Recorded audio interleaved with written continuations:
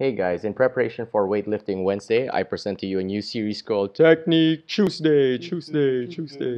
In this late episode of Technique Tuesday, we are working on a clean complex, starting off with a power clean, hitting a power jerk, setting the barbell hmm. down, and then hitting a clean and jerk. We're working with percentages close to your 1 rep max, starting with 60%, followed by a set at 70%, and then 3 rounds at 75% of your 1 rep max, clean, and jerk. This time around, I want to walk you through my favorite PVC pipe drills to make sure that you hit the right positions in your clean and jerk.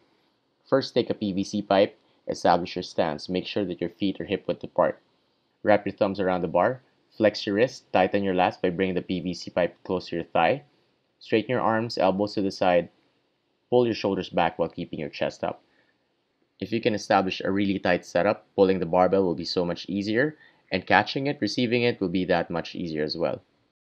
You start from the hip, do a high pull, lower it back down, get to the hang or your knee position, back to your hip, hit another high pull, full extension, back down to your knee, this time down to the floor, reverse your movements back to your knee, all the way to the hip, and hit your high pull.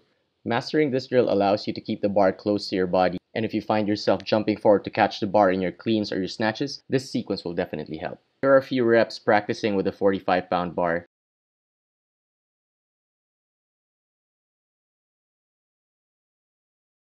Some fine pointers here, make sure when you're in the hang position, your shoulders are over the bar and your lats are engaged. The moment you relax, the barbell flies away.